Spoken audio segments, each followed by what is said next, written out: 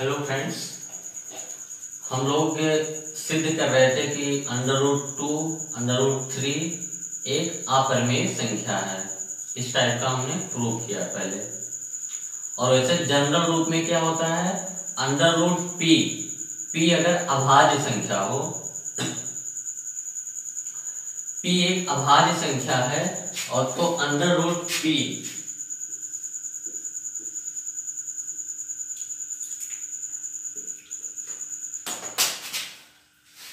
ये क्या होगा? ये अपरमेय संख्या हमेशा होगा।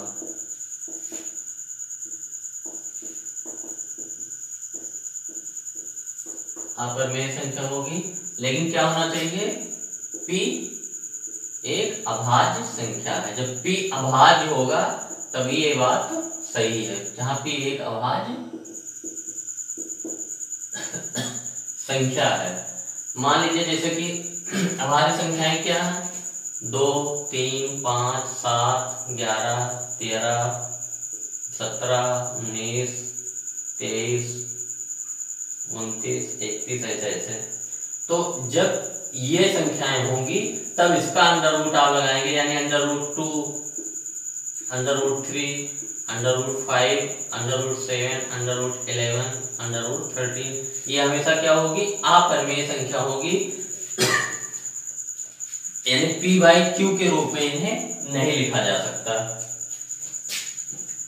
तो इसको एक जनरल रूप में प्रूव कर लेते हैं हम लोग। जैसे वहाँ पे देखा था, दो प्रूफ देख चुके हैं कि रूट टू अपर में है और रूट थ्री अपर में है। तो हम लोग क्या करेंगे, एक जनरल प्रूफ ले लेते हैं कि अंडर रूट के अंदर कोई भी अभाज्य संख्या हो तो वो अपरमेय संख्या होती है। ये हम लोग एक बार प्रूव कर लेते हैं। सब कुछ सेम रहेगा वही। तो हम लोग को क्या सिद्ध करना है कि रूट पी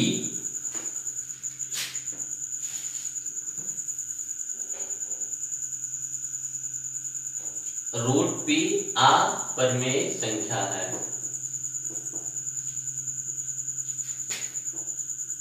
रूट पी अपरिमेय संख्या है ये सिद्ध करना है। जहाँ पी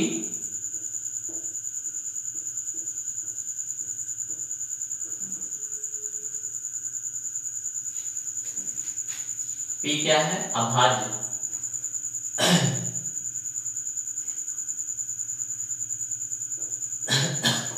अभाज्य संख्या है। पी क्या होना चाहिए? अभाज्य होना चाहिए।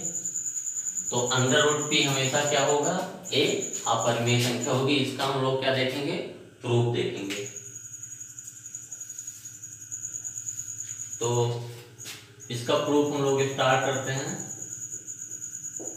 एकदम सिमिलर ऐसा रहेगा जैसा रूट टू और रूट थ्री का हम लोगों ने सिद्ध किया था। तो पहला स्टेप क्या करेंगे? जो हमको प्रूव करना है, उसका उल्टा मान के चलेंगे। मतलब कि माना रूट पी एक परिमेय संख्या है।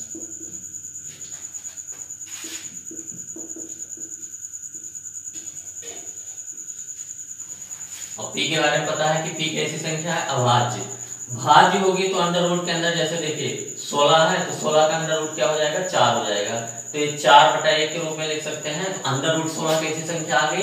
परिमेय संख्या आ गई। इसीलिए बोला जाता है कि ये क्या होना चाहिए? अभाज्य, तभी परिमेय संख्या तभी अपरिमेय संख्या होगी। अदरवाइज़ ये परिमेय संख्या बन जाएगी। अंडर रूट के अंदर सोलह अंडर रूट के अंदर आप सौ लिखें। तो इसका करेंगे तो क्या हो जाएगा? दस और दस बटा एक। ये कैसी संख्या होगी? परिमेय। यानी अंडर रूट के अंदर क्या होना चाहिए? अभाज्य संख्या। तो माना रूट पी एक परिमेय संख्या है।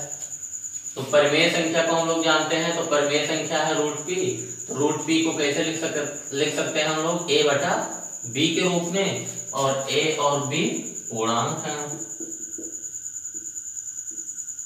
बी ज़ीरो नहीं हो सकता। और ए और बी के जो उभयनिष्ठ गुणनखंडों को आप कैंसिल कर देंगे, इस स्टेज में पहुँचे कि ए और बी जो है, अब किसी संख्या से डिवाइड नहीं होगी। तथा ए तथा बी में एक के अलावा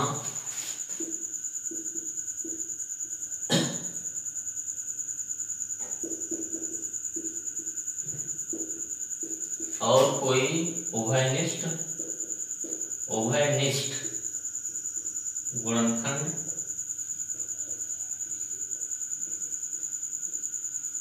नहीं है।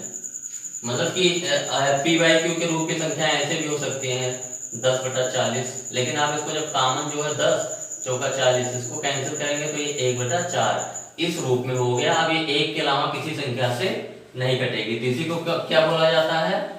तो मतलब कि ए तथा बी, ए तथा बी अभाज्य है।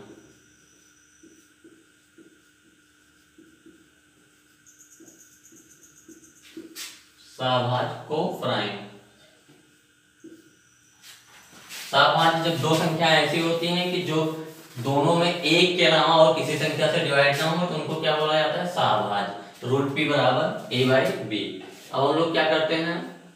दोनों साइड जो है बी से मल्टीप्लाई करते हैं। A by B into B इसका अगला स्टेप क्या हो जाएगा? बी इंटू रूट पी बराबर ये बी भी खत्म हो गया ए फिर अगला स्टेप क्या करेंगे? दोनों का स्क्वायर कर देंगे। बी रूट पी का वर्ग बराबर ए स्क्वायर यहाँ क्या लिखेंगे? आप दोनों बच्चों का वर्ग करने पर।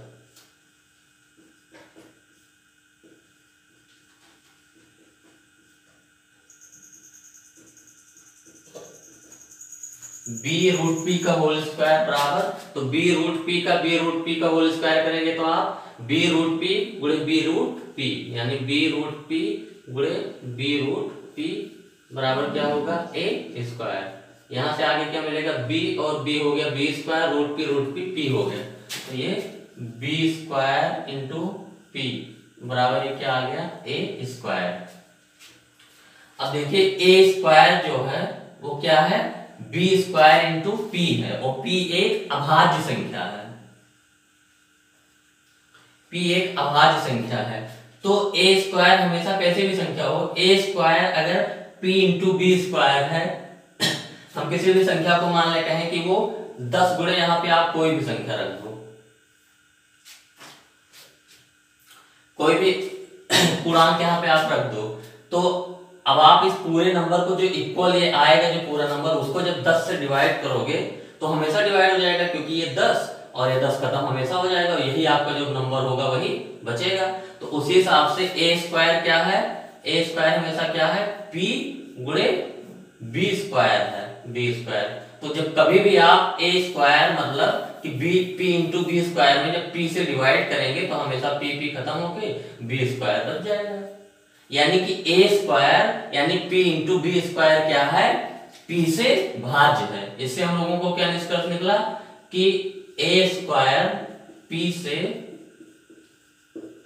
भाज्य है।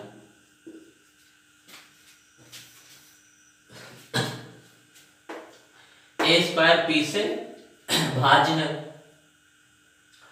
अब हमको ये पता है थ्योरम हम लोगों ने एक देखा था, प्रमेय 1.3 था। शायद उसमें क्या? उसमें हम लोगों ने क्या देखा था? कि अगर P उसमें ऐसा था कि ए स्क्वायर पी से भाज्य है। ये पता है। और P कैसा होना चाहिए? अभाज्य संख्या होना चाहिए। उस थ्योरम में यही था P भाज्य संख्या जब होगा तब नहीं। तो ये क्या निकलता था यहाँ से कि A जो है, P से भी भाज्य होगा।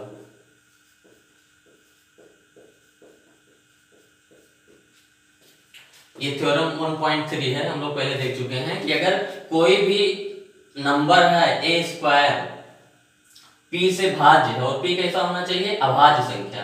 पी क्या होना चाहिए? अभाज्य संख्या। तो ए पी से भी भाज्य होगा, जहाँ पी अभाज्य संख्या है।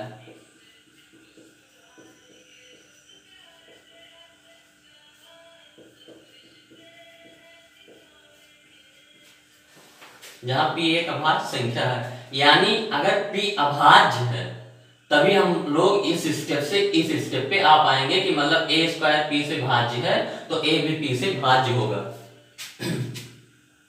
तो ए स्क्वायर पी से भाज्य है तो यहाँ से हम लोग क्या निकालेंगे कि ए भी पी से भाज्य होगा।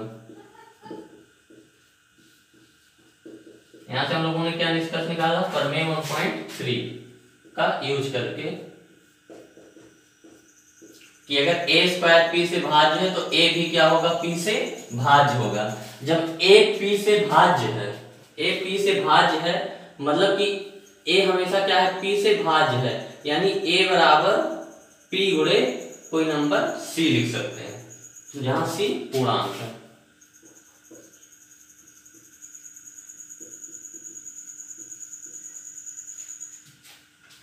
ये ए कोई नंबर है, वो हमेशा पी से भाज्य है। तो उसको पी गुड़े कोई और पूर्णांक ले सकते हैं कि नहीं ले सकते हैं? ए बराबर पी इंटू सी अब ए बराबर पी इंटू सी हम लोग कहा रखते हैं? यहाँ पे रखते हैं। हम लोगों को बी स्क्वायर इंटू पी बराबर ए स्क्वायर पता है। इसमें क्या रखेंगे? ए बराबर p into p into c रखने पर। ए बराबर पी इंटू सी यहाँ पे रखेंगे तो ये क्या हो गया? बी स्क्वायर इंटू पी बराबर पी इंटू सी का होल स्क्वायर, ये अगला स्टेप क्या हो जाएगा? बी स्क्वायर इंटू पी बराबर p square into c square p into c का होल स्क्वायर तो पी पे square p square c square एक पी एक पी कैंसिल हो जाएगा। तो यहाँ से क्या बचेगा? यहाँ बी स्क्वायर बचेगा। बी स्क्वायर बराबर, यहाँ एक पी बचेगा, ये खत्म हो गया। पी इंटू सी स्क्वायर यहाँ से क्या मिला कि बी स्क्वायर क्या होगा? पी इंटू सी स्क्वायर है। यानी यहाँ से क्या हम लोग निकालेंगे? कि बी स्क्वायर पी का गुणज है। यानी बी स्क्वायर यहाँ से क्या निकला? यहाँ से क्या निकला कि बी स्क्वायर पी से भाज्य है। तो प्रमेय वन पॉइंट थ्री क्या कहता है कि अगर कोई नंबर का स्क्वायर किसी अभाज्य संख्या से भाज्य है तो वो नंबर भी क्या होगा उस संख्या से? भाज्य होगा। यानी b अगर p से भाज्य होगा बी पी से अगर भाज्य होगा तो इसका मतलब क्या हो गया? ए पी से भाज्य है और बी भी पी से भाज्य है। इसका मतलब क्या हुआ? हम लोग कौन सा लॉजिक पे पहुँच गए कि ए ए और बी में ए और b का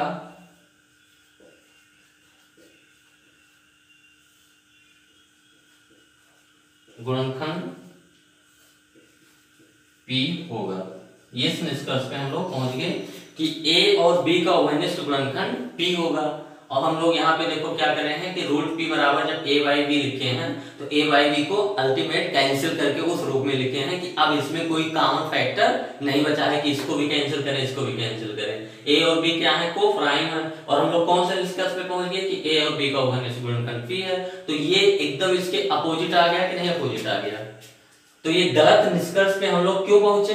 क्योंकि हम लोग जो परिकल्पना लेके चले थे कि रूट पी एक परिमेय संख्या है, वही गलत है। तो यहाँ पे आप लिख सकते हैं ए और बी का उभयनिष्ठ गुणनखंड पी होगा। ये इस तथ्य के विपरीत है कि ए और बी सहभाज्य हैं। इसमें एक लाइन और लिख सकते हैं कि यह, ये इस तथ्य के विपरीत है कि ए और बी में एक के अलावा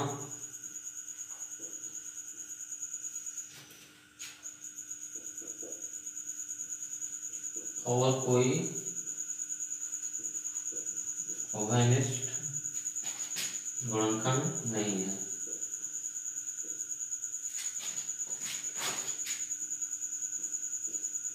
ये इस तथ्य के विपरीत है कि ए और बी में एक के अलावा कोई उभयनिष्ठ गुणनखंड नहीं है। तो ये क्या हो गया? इस तथ्य का विरोधाभास विपरीत है या लिख सकते हैं आप, या इस तथ्य का विरोधाभास है कि ए और बी में एक के अलावा और कोई उभयनिष्ठ गुणनखंड नहीं है। अतः हमारा मानना गलत है। आप कहेंगे क्या? हमारा मानना कि रूट पी एक परिमेय संख्या है, गलत है। अतः हमारा मानना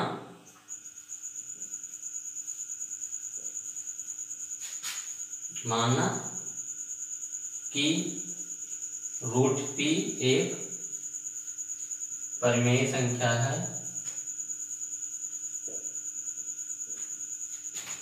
परिमेय संख्या है, गलत है।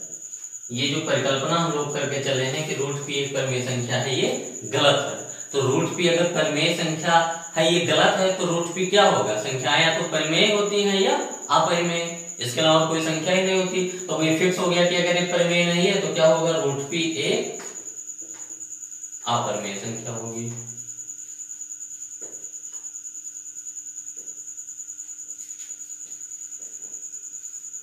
ये हम लोग जनरल प्रूफ कर लिए कि पी अभाज्य होना क्यों ज़रूरी है?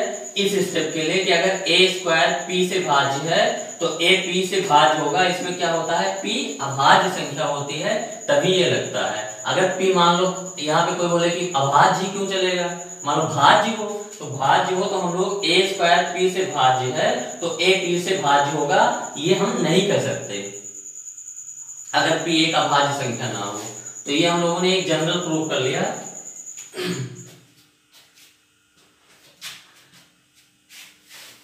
फिर इसके बाद हम लोग देखते हैं कि परिमेय संख्या और अपरिमेय संख्या को जोड़ने, घटाने, गुणा भाग करने पर क्या आता है?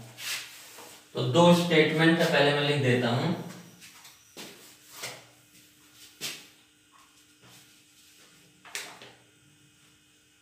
दो स्टेटमेंट है। एक परिमेय संख्या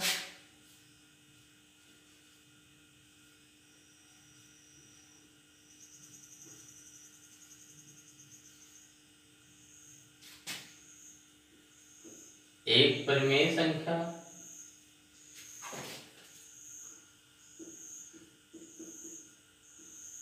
और एक अपरिमेय संख्या।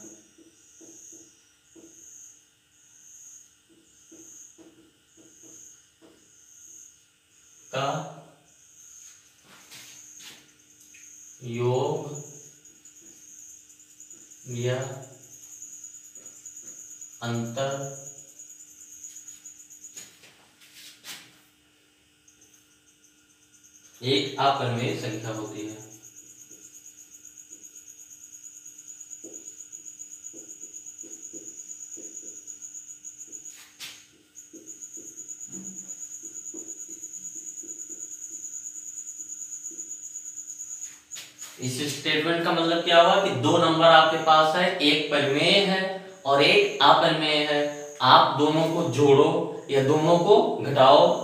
परमेय से अपरिमेय घटाओ या अपरिमेय से परमेय घटाओ। तो ये क्या होगा? ये अपरिमेय संख्या आएगी।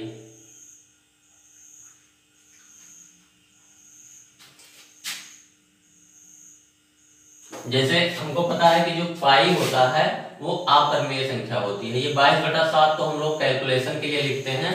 ये बाईस बटा सात के रूप में नहीं होता। ये क्या होता है? पाई अपरिमेय संख्या होती है। ये कैलकुलेशन के लिए हम लोग बाईस बटा सात, अगर पाई एग्जैक्टली बाईस बटा सात के इक्वल होता तो पाई तो परिमेय संख्या हो गई? क्योंकि ये पी वाई क्यू के रूप में लिखी है परिमेय पूर्णांक बटा पूर्णांक, लेकिन एग्जैक्टली बाईस बटा सात को हम लोग कैलकुलेशन इजी करने के लिए लिखते हैं। पाई क्या होती है? अपरिमेय संख्या होती है? तो अगर एक परिमेय संख्या एग्ज़ाम्पल के रूप में हम लोग देखें, जैसे मान लो पाई अपरिमेय है। पाई में मान लो आपने पंद्रह जोड़ा। तो ये क्या है? अपरिमेय और पंद्रह क्या है? परिमेय है। तो जोड़ने के बाद जो आपका आएगा वो क्या होगा? अपरिमेय अपरिमेय संख्या। आप घटा दीजिए। पाई से पंद्रह को घटा दीजिए या पंद्रह से पाई को घटा दीजिए। ये क्या होगा? ये दोनों आपसीय संख्या होंगी। तो कहने का मतलब ये हुआ कि आपको एक परमेय संख्या और एक अपरिमेय संख्या दी हो। तो दोनों को आप जोड़ो या घटाओ, वो हमेशा क्या आएगा? आप परिमेय संख्या आएगा। एक स्टेटमेंट इसमें और है।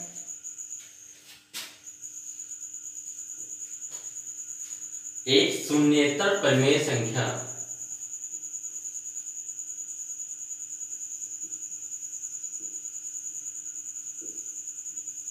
एक शून्यतर परिमेय संख्या। एक शून्यतर प्रमेय संख्या और एक अपरिमेय संख्या का गुणनफल या भागफल। और एक शून्यतर प्रमेय संख्या और एक एक अपरिमेय संख्या का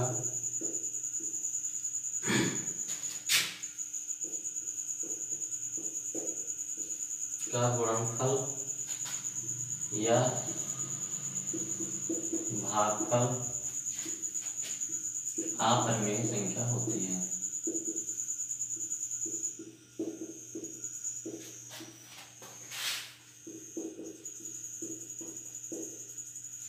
इसको समझते हैं, ये क्या कह रहा है? शून्यतर परिमेय संख्या। इसको हम लोग पहले देख लेते हैं। इसका क्या मतलब होता है? शून्यतर शून्यतर का मतलब कि शून्य के इतर शून्यतर इसका मतलब होता है शून्य के इतर। शून्य के इतर मतलब शून्य के अलावा, शून्य को छोड़कर आप क्या कहते क्या कह सकते हैं कि शून्य को छोड़कर। जैसे हम लोग बोलते हैं कि ये काम कर लो, इसके इतर और कोई काम नहीं करना है तो उसका मतलब कि उसको छोड़ के तो शून्य इतर जहाँ पे आएगा, हमेशा क्या होता है? शून्य के अलावा शून्य को छोड़ के जो भी परमेय संख्या होगी, क्योंकि शून्य भी परमेय संख्या है, जैसे शून्य क्या है आप? शून्य को शून्य बटा एक लिख सकते हैं कि नहीं लिख सकते हैं? ये शून्य के बराबर है कि नहीं बराबर है? तो ये भी पूर्णांक है, ये भी पूर्णांक है। पी और क्यू पूर्णांक है और क्यू ज़ीरो नहीं है, यानी नीचे वाला ज़ीरो नहीं है। तो क्या होगा ये? परमेय संख्या होगा। तो शून्य क्या है ये? परमेय संख्या है। लेकिन ये जो स्टेटमेंट है, ये शून्य पर लागू नहीं है। शून्य के अलावा कोई भी परमेय संख्या हो और एक अपरमेय संख्या का गुणनफल या भागफल अपरमेय संख्या होती है। शून्य मान ले पाई है, अपरमेय है और शून्य परमेय अगर हम इसको करेंगे तो ये शून्य आ जाएगा, यानी ये परमेय आ जाएगा। इसीलिए ये स्टेटमेंट शून्य पे लागू नहीं होता, ये अपरमेय है और ये परिमेय है। जब किसी भी नंबर को आप शून्य से मल्टीप्लाई करोगे तो शून्य ही आएगा ना? तो यहाँ अपरिमेय गुणे परिमेय क्या आ गया? परिमेय आ गया। इसीलिए शून्य पे ये फॉलो नहीं होता ये पूरा स्टेटमेंट इसीलिए शून्य को हटा दिया गया कि अगर शून्य के अलावा यहाँ पे कुछ भी होता, दस होता तो ये क्या आ जाता? Ten pi. और ये टेन पाई क्या होता? आ परमेय।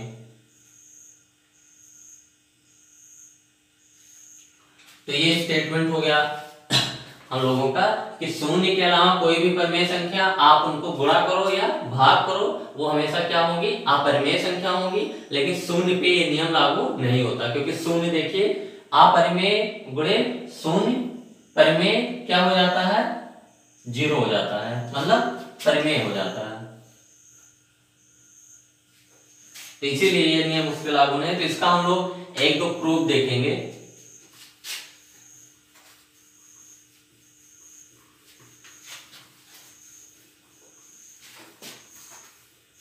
प्रूफ एकदम वैसे ही होगा जैसे हम लोग प्रूफ कर चुके हैं कि रूट टू रूट थ्री या रूट पी एक अपरमेय संख्या है। जहाँ पी एक अभाज्य संख्या है। एग्ज़ाम्पल टेन हम लोग देखते हैं। एग्ज़ाम्पल टेन आपका बुक में दिया है। एग्ज़ाम्पल टेन दर्शाइए कि फाइव माइनस रूट थ्री एक अपरमेय संख्या है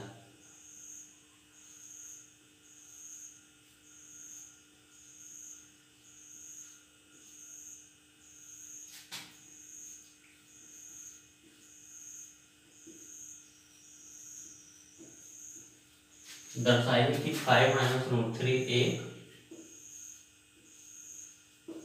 आप संख्या। है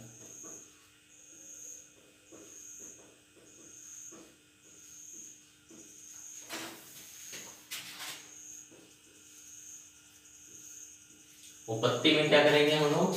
वही पुराना मेथड प्रूफ बाय कंट्राडिक्शन कि हमको जो सिद्ध करना है, उसका विपरीत मान के चलेंगे। और कुछ ऐसे निष्कर्ष पे पहुँचेंगे कि जो विरोधाभास होगा। तो फिर हम लोग क्या कहेंगे कि ये नहीं हो सकता, इसका मतलब जो मान के चले हैं वही गलत होगा। तो हम लोग क्या कहेंगे, फाइव माइनस रूट थ्री एक परमेय संख्या अपरमेय संख्या सिद्ध करना है? पहला स्टेप क्या होगा? माना माना फाइव माइनस रूट थ्री एक परमेय संख्या है?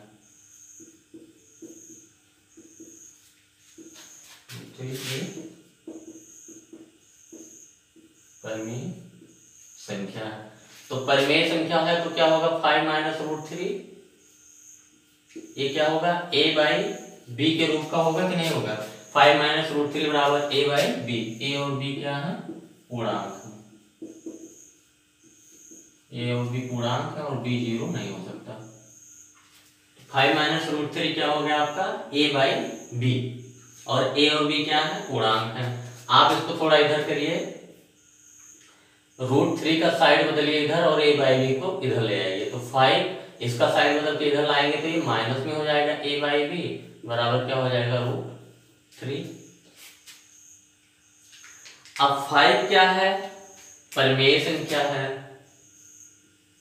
ये फाइव कैसी संख्या है? ये परमेय है। ए बाई बी ये भी क्या है? परमेय है। और परिमेय में परिमेय जोड़ो या परिमेय घटाओ तो हमेशा क्या होता है? परिमेय लेकिन रूट थ्री क्या है? आपरमेय है। तो इधर वाला जो है, ये पूरा क्या है? Five minus a by b. ये परमेय संख्या है और इधर वाला जो है, ये अपरमेय संख्या है। तो ये दोनों इक्वल हो सकते हैं कभी। दोनों साइड इक्वल होने का मतलब कि जो ये है, वही ये भी होना चाहिए। जैसे दस बराबर दस। हम लोग लिखते हैं, दस बराबर पंद्रह तो कभी कर नहीं पाएँगे ना। तो जो ये है, ये कह रहा है रूट थ्री हम लोग पहले जानते हैं कि अपरमेय संख्या है। और ये पता है कि ये परमेय से परमेय संख्या जोड़ो या घटाओ तो हमेशा क्या आता है? परमेय संख्या। तो हम लोगों को यहाँ से क्या आ गया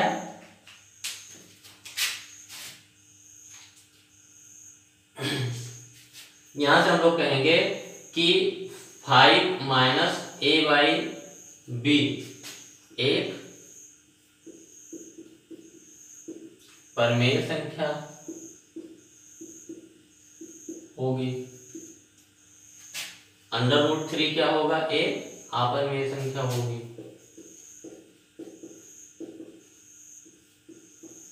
होगी या है? तो परिमेय संख्या अपरमेय संख्या इक्वल नहीं हो सकते तो स्टेटमेंट इसमें क्या लिखेंगे?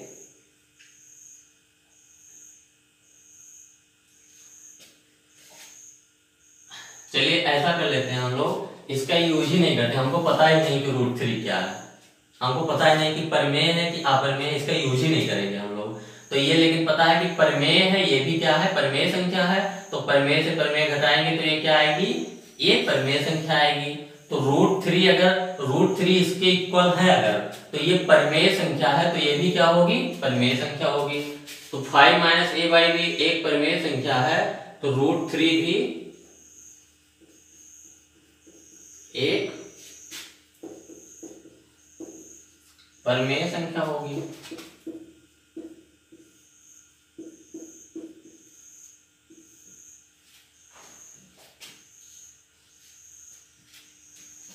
रूट थ्री भी एक क्या होगा? परमेय संख्या होगा, क्योंकि रूट थ्री भाई five minus a by b के बराबर है। जबकि हमको पता है कि रूट थ्री क्या है? आ, परमेय है। ये इस तथ्य का विरोधाभास है। इसमें क्या लिखेंगे? ये इस तथ्य का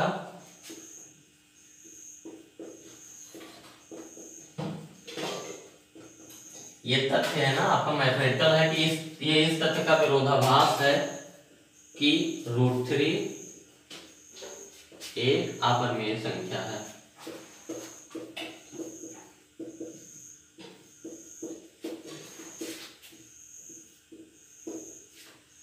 ये क्यों उत्पन्न हुआ विरोधाभास? कि हम लोग ने तो पढ़ा अभी तक कि रूट थ्री अपरमेय है, और यहाँ पे कहा पहुँच गए कि रूट थ्री परमेय है, पूरा मैथ उल्ट गया, पूरा उल्टा हो गया। तो विरोधाभास उत्पन्न हुआ, इसलिए उत्पन्न हुआ क्योंकि हम लोग जो मान के चले हैं, जो माना है, वही गलत होगा। तभी तो गलत निष्कर्ष पे पहुँचे। अतः हमारा मानना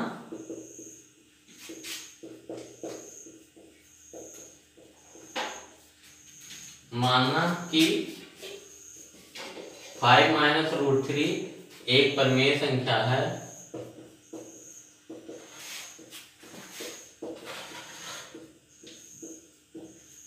गलत। ये जो हम लोग माने हैं मान के जो चले हैं कि root three five minus root three एक परमेय संख्या, ये गलत है। तो सही क्या होगा?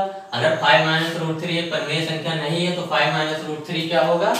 आ परमेय संख्या होगा। फाइव माइनस रूट थ्री एक अपरमेय संख्या होगी।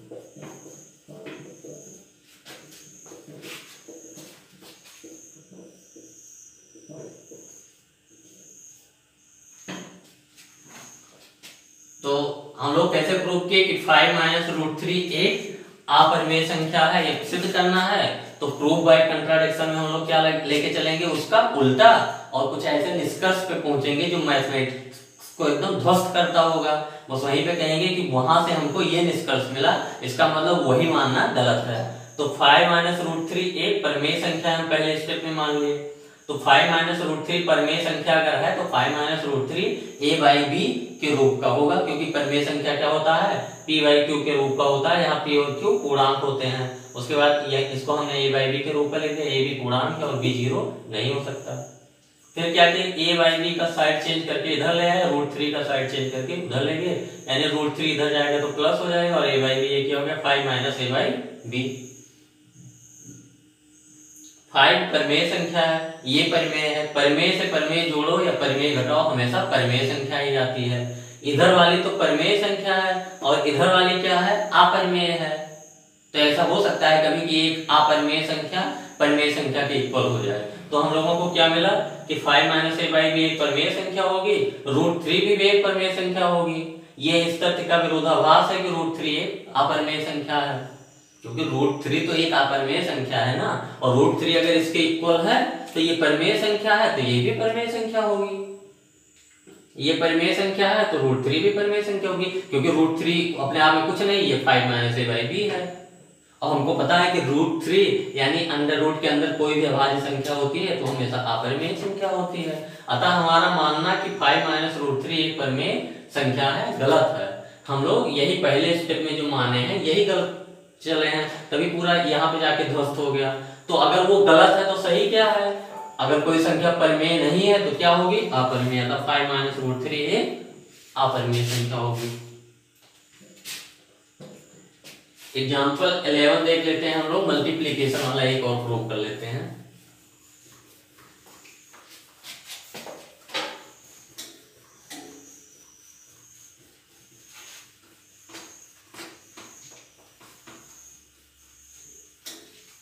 एग्ज़ाम्पल 11 है आपका, कि दर्शाइए कि थ्री रूट टू एक अपरिमेय संख्या है। उदाहरण ग्यारह।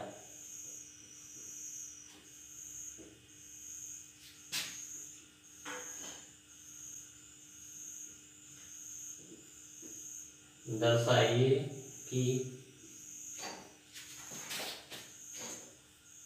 थ्री इंटू रूट टू एक अपरिमेय संख्या है।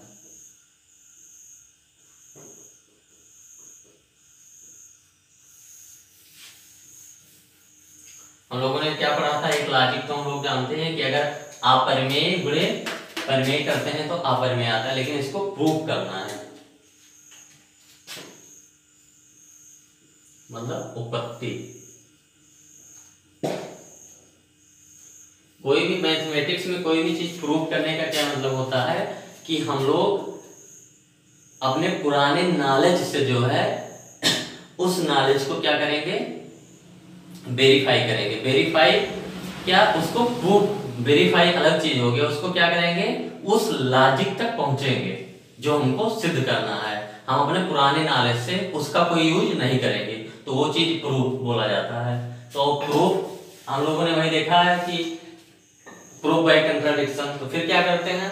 फिर क्या करते हैं? माना ये बोलते हैं कि एक अपरिमेय संख्या है। तो हम लोग क्या कहते हैं कि माना थ्री इंटू रूट टू एक परिमेय संख्या है। एक परमेय संख्या है। उसका उल्टा मान लिए तो थ्री इंटू रूट टू अगर परमेय संख्या है तो थ्री इंटू रूट टू क्या होगा ये? ए बाई बी के रूप का होगा। ए और बी क्या है? पूर्णांक है। आप इसको पी बाई क्यू भी कह सकते हैं। कोई फ़र्क नहीं पड़ेगा। पूर्णांक है और बी ज़ीरो नहीं है। तो three into root t root two बराबर ए बाई बी अब क्या करते हैं? थ्री को क्या करते हैं? थ्री से दोनों साइड डिवाइड कर देते हैं। तो three root two by three a by b into three, ये हो गया। ये थ्री थ्री खत्म हो गया, यानी रूट टू बराबर क्या आ गया आपका? A by three b. A पूर्णांक है, बी भी पूर्णांक है, बी को तीन से मल्टीप्लाई करेंगे, ये भी पूर्णांक होगा। तो ए बाई थ्री बी क्या है ये? परमेय संख्या है कि नहीं है? ये परमेय संख्या हो क्योंकि परमेय की डिफिनेशन क्या होती है? कि p बाई क्यू के रूप में पी और क्यू पूर्णांक तो ये a और b तो पहले से पूर्णांक थे। b में जब तीन से मल्टीप्लाई करोगे तो वो भी पूर्णांक होगा। तो ए बाई थ्री बी क्या होगा? परमेय संख्या है। और रूट टू क्या है? अपने आप में कुछ नहीं है। ये ए बाई थ्री बी के बराबर है। तो इससे क्या मिल गया कि रूट टू एक परमेय संख्या है। ये हमको मिल गया। यहाँ से क्या हमको मिल गया कि रूट टू एक परमेय संख्या है। क्योंकि रूट टू अपने आप में कुछ नहीं ए बाई थ्री बी के अगर बराबर है तो जो ए बाई थ्री बी होगा, वही रूट टू होगा। तो रूट टू क्या है? ए बाई थ्री बी क्या? परमेय संख्या। तो रूट टू भी है परमेय संख्या है। जबकि क्या है कि रूट टू हम जानते हैं, एक अपरमेय संख्या है। या इस तथ्य के विपरीत है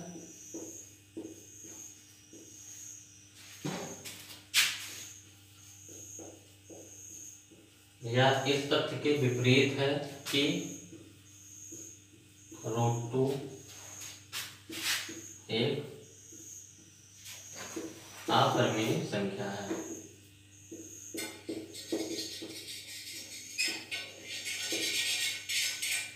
तो इसका मतलब क्या हुआ?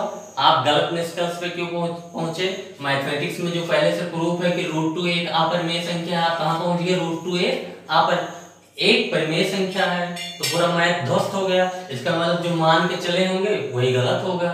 तो विपरीत है कि रूट टू एक अपरिमेय संख्या है, अतः हमारा मानना कि थ्री रूट टू एक परिमेय संख्या है, गलत है। अतः हमारा मानना कि थ्री इंटू रूट टू एक परिमेय संख्या है, जो हम लोग माने हैं। ये मानना क्या है? हमारा मानना कि थ्री रूट टू एक परिमेय संख्या है, गलत है। ये गलत है। तो थ्री रूट टू अगर परिमेय संख्या मानना गलत है तो थ्री रूट टू क्या होगा? थ्री रूट टू एक अपरिमेय संख्या होगी। क्योंकि संख्याएँ या तो परिमेय होती हैं या अपरिमेय। रूट टू एक अपरिमेय संख्या होगी। तो यहीं तक रखते हैं। इसके बाद एक्सरसाइज 1.3 आएगा। यहाँ तक रखते हैं। Thanks for watching